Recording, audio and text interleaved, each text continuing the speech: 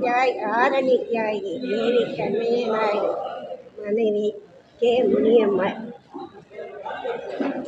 அவர் உப்பு சத்தியாகிரகத்தில் வெள்ளையனே வெளியேறு என்ற இடத்துல முதலில் ஆறு மாதம் வெள்ளாரியில் ஒரு வருஷம் ஜெயிலில் இருந்தார். அதுக்கப்புறம் திருமணமான பிறகு பத்திரிகை நிருபராகவே பணியாற்றினார்.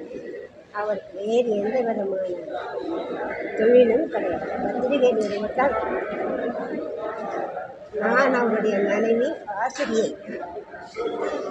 ஓய்வு பெற்றுவிட்டு ஆசிரியர் போகிறேன்.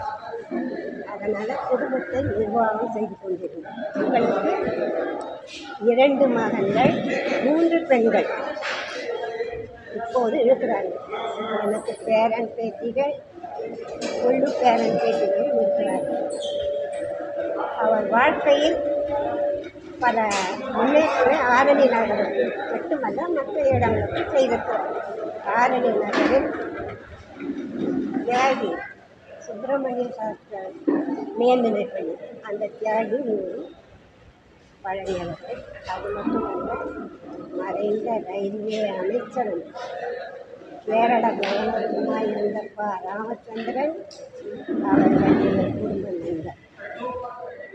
அது மட்டுமல்ல பெருந்தலைவர் காமராஜர் உண்மையோடு இருந்து கணவர்கள் உரையாடுவது வழக்கம்.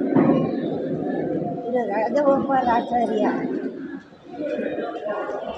ஆரணி நகராட்சி குடிநீர் திட்டத்திற்காக அடிக்கல் நாட்டிய போது என் கணவர் கவுன்சிலர் பெருந்தலைவர் அந்த குடிநீர் திட்டத்தை ஆரம்பித்து மேம்பாலம் போன்ற நல்ல பல காரியங்கள் செய்தார்.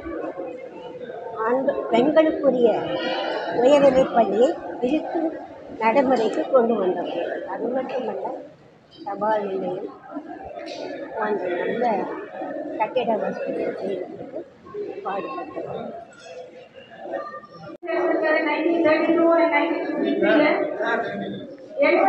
ಪೆನ್ಷನ್ ಹೋಗದೆ ಪೆನ್ಷನ್ ಕೂಡ ಭಾಗ ಮಾಡಿ ಕೊಡೋದು ಕಡಿಮೆ ಟೈಮ ಕಡಿಮೆ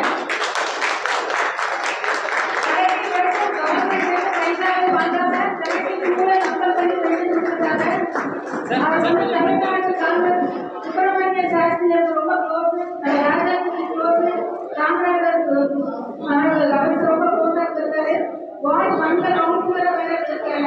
நைன்டீன் சிக்ஸ்டில Please give a big hand to the people.